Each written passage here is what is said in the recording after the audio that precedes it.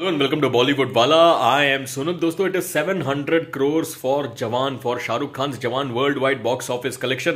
100, 200, 300, 400, 500, 600, 700.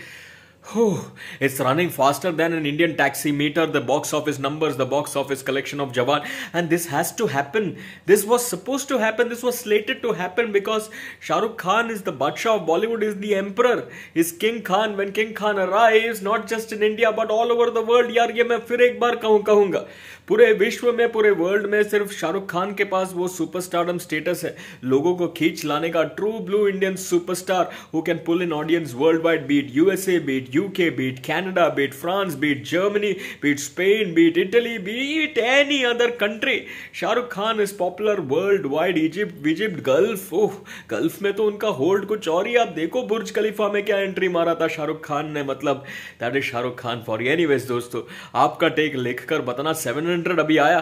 Thousand कितना जल्दी आएगा? Let me know what you think and of course like share and subscribe भी करना। चैनल को वीडियो को एंड सुपर थैंक्स का ऑप्शन भी है। वो भी आप दे सकते हो। चलिए फॉर द मोमेंट ¡Tara!